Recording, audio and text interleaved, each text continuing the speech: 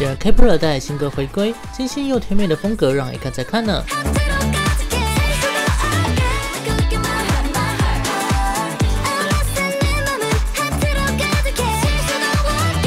让人觉得非常压抑的是，因为受到中秋连假及亚运会的影响，Kepler 回归的两周内，除了秀圈片外，其余的打歌节目都被停播。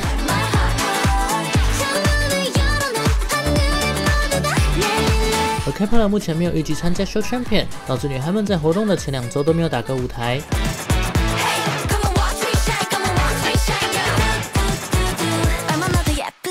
现在这个时机点回归真的非常可惜，希望公司可以多试出物料，让粉丝们过过瘾啦。